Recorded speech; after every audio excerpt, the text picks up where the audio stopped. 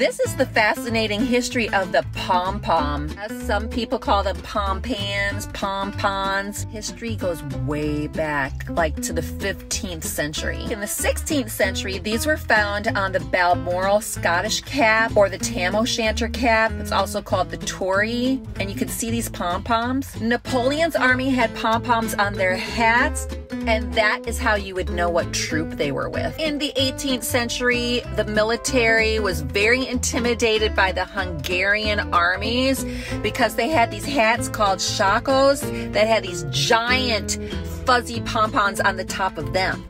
Roman Catholic clergy have these like square hats called birettas and they have pom-poms on them.